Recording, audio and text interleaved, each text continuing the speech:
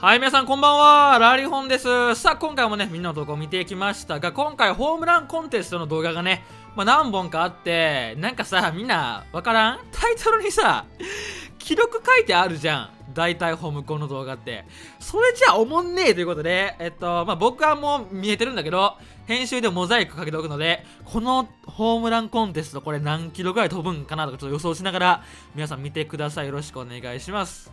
さあ、見ていきましょう。これ、ロックマンのホームランコンテストということで、何キロ飛ぶのかな？もう僕は全然 全然タイトルで見えてるんだけど、なあ、なんか、ホームコンの醍醐味がなんかタイトルでね、記録書いてあってなんかあれやよね。まあ、こんだけ出したよっていうタイトルはまあ必要かもしれんけど、やっぱりなんか、初めからなんかね、何キロ飛んだって分かっとったらおもんない感じはするけど、さあ、ロックマン。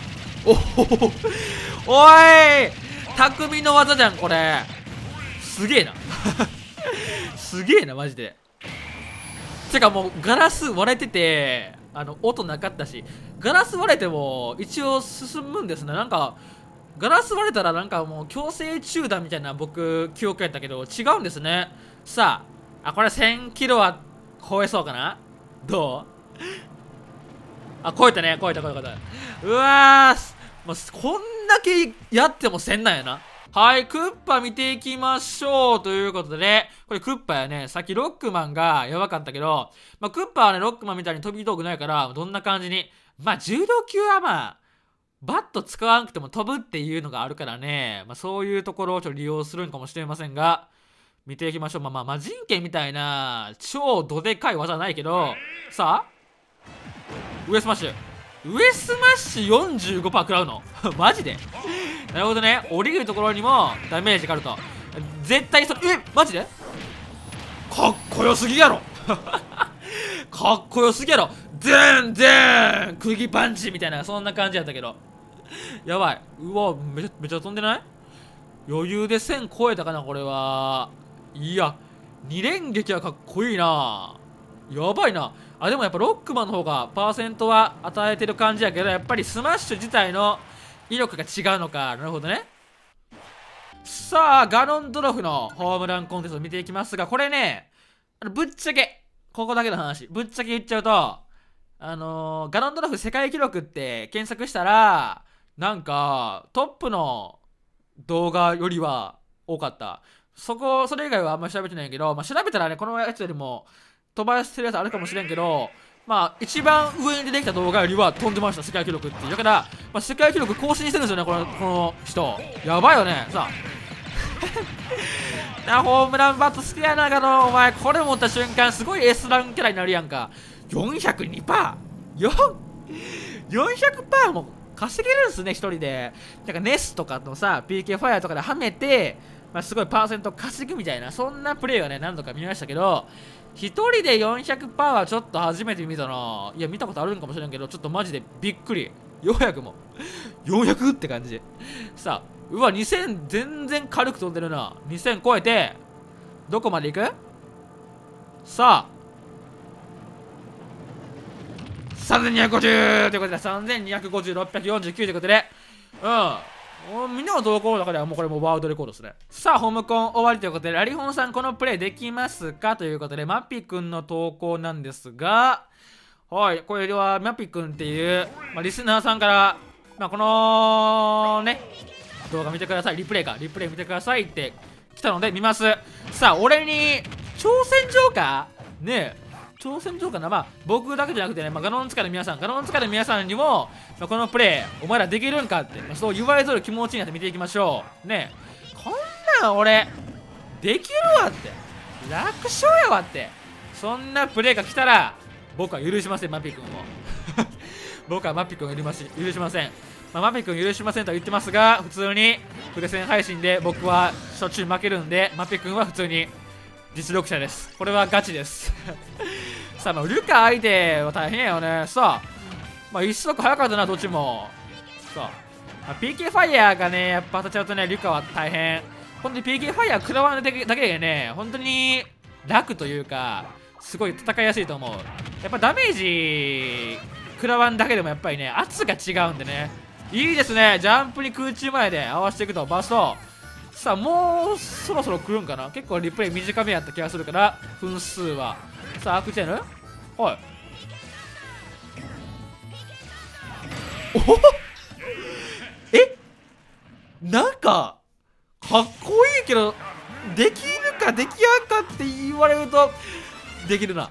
はいさあ Wii フィットトレーナー864万7000ということでまあちょっとインフレしてますからね、戦闘力って。まあ日々。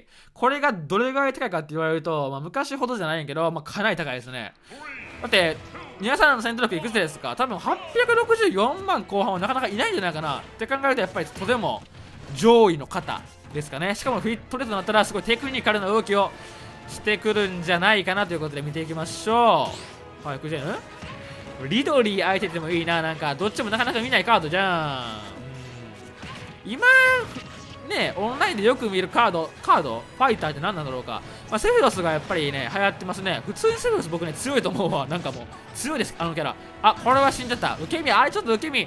そもそもあそこに空中への合わせてくるっていうのはちょっとなかなかね分かりづらいなということで、うん、今多いキャラなんかな、まあ、ガノンは安定にそこそこいるけどゴキブリみたいにねゴキブリみたいにじじがいっぱいいますけど。えー、何が多いんやろうか。うーん。でもまあパッと出てこやんな。何が多いと言われたでもまあまあ一つだけ言えるのはフィットレは全然おらんな。うん。フィットレはなかなか見やん。なんかやっぱりねこのキャラ多いってなかなかいないな。逆にこのキャラいないっていう方がなんか考えやすそう。なんか出てきやすそう頭から。逆にこのキャラいないキャラまあフィットレなかなか見ないけどうーんバンカツとかあんまり見ないんだよね。でメイトナイトも結構個人的には希少種。でもやっぱりなんか戦闘力帯でね VIP とか非 VIP とかでも多分きっとねいるキャラファイターの種類違うと思うな、うん、お僕が今ねいる VIP の流行りキャラ。と皆さんのいる VIP の流行りキャラ。非 VIP の流行りキャラ。多分ね違うんですよね。だからまあ一概にねこのキャラ多いって言ってもそんなことないけどなみたいな。逆にさっき言ったあのバンカチとかメタナイトとかねフィットレとか、まあ、フィットレもさみんなの戦闘力の高いたらいっぱいおるかもしれんしね、まあ、逆にこんな高いところにおるってことはやっぱり、うん、上にはいるのかもしれない。フィットレがいっぱい、うん、そういう考えもできるよね。ということで。うまい。さあまるまる。おうわうわ、まあ、コンボが違うな。そもそもあそこで空中下を振るところがうまい。さあ大丈夫？このステージリドリー似合うな。めっちゃ似合わん？上スマッシュ最強はい、ということで今回ね、こんな感じでした。こんな感じでね、まあ、スマブラの面白いプレイとかね、まとめていますので、ぜひね、登録と高評価お願いします。はい、で、年末もいろいろやるつもりですね。まあ、29、30、31は、まあ、ちょっと、ちゃんと編集した動画をね、あげようと思っていますので、ちょっとお楽しみということで、まあ、年越しはね、まあ、暇させませんということで、うん。まあ、配信もなんかしたいと思ってますし、ぜひね、今のうちに登録してもらって、通知ボタンもね、押しておいてください。お願いします。ということで、はい、おちゅはーい、シャク稼ぎ TV です。ってことで、ちょっと今日は早口言葉じゃなくて、あのー、ナバナに行ってきました。あのー、イルミネーションで有名なナバナの里に行ってきたんですが、綺麗やったー。めっちゃ綺麗やった。皆さん行った方いますか？もしかしたら僕のこと見た人いるんじゃないですか？髪の毛ちょっと青っぽいやつ。めちゃめちゃ派手髪やからさ。